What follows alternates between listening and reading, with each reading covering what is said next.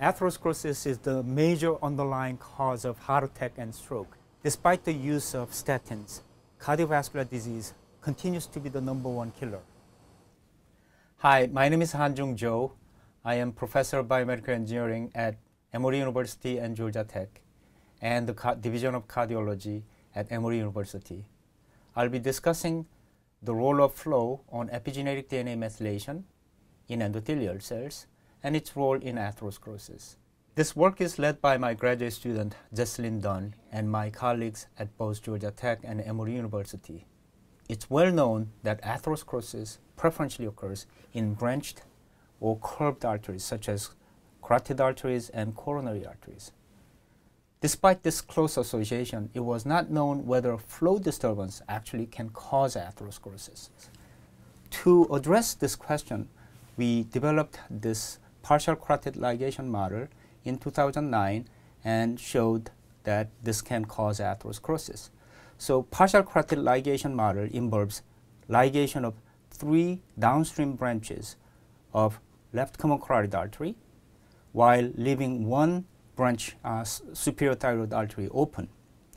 As well, we have uh, in the same animal model, right side remains untouched and serving as a contralateral control. Once we do the partial ligation surgery, this then induces flow disturbance in the left side only.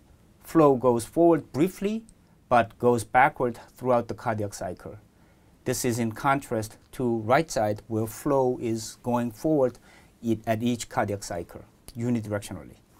Using this mouse model, then we tested whether flow disturbance can actually cause atherosclerosis. For this, we took ApoE knockout mice and we gave them high-fat diet.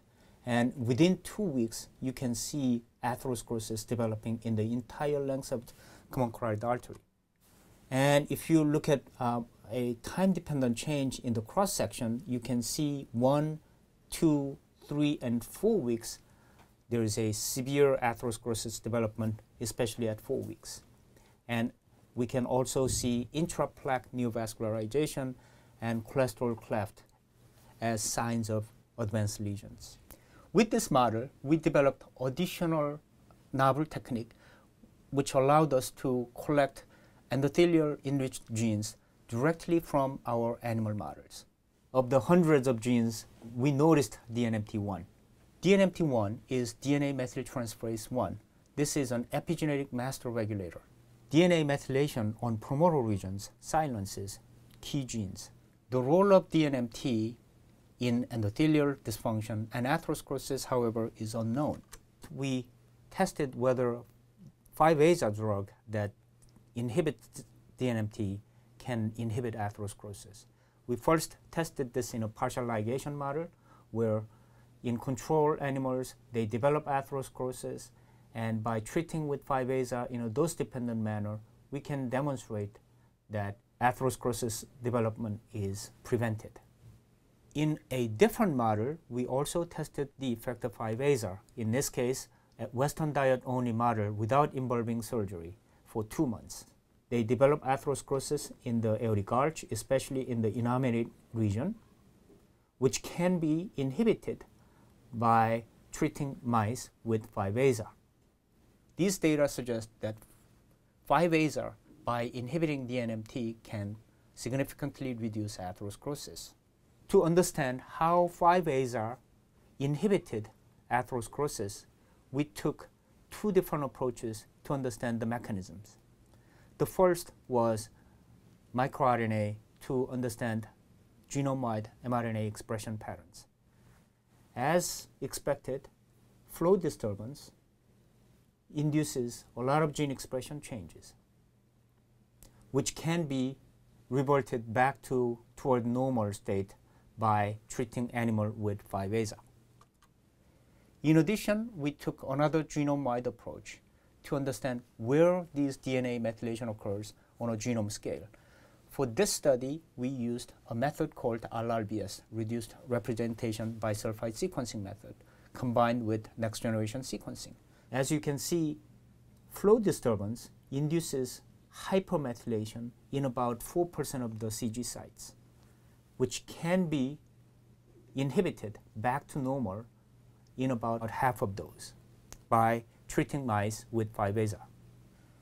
To understand which genes are regulated at the promoter region by DNA methylation dependent mechanisms, what we did was we combined these two data sets and used a systems biological approach to figure out which genes are DNA methylated on the promoter regions and which genes can be uh, are also uh, downregulated.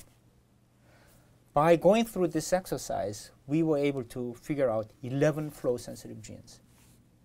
And more surprisingly, five of those 11 genes actually contained cyclic AMP response elements. So these genes are HOXA5 and KLF3 and others. The importance of these cyclic AMP response element genes in endothelial dysfunction and atherosclerosis is currently unknown, but our initial studies do suggest that inhibition of HOXA5 can revert endothelial inflammation caused by uh, flow disturbance, suggesting that uh, HOXA5 genes and these cyclic AMP response element containing genes, as well as these other flow sensitive genes that we identified, could play an important role in atherosclerosis. So in conclusion, we showed that disturbed flow regulates epigenetics in endothelial cells by controlling DNA methylation in a DNMT1 dependent mechanism. This mechanosensitive epigenetic memory may lead to a long-term change in gene expression and atherosclerosis development.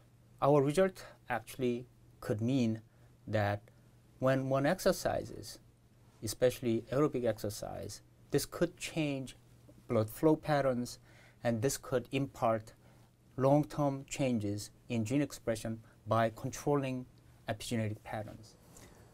The role of epigenetics and the genes that we identified in this study could provide a new therapeutic targets to treat atherosclerosis.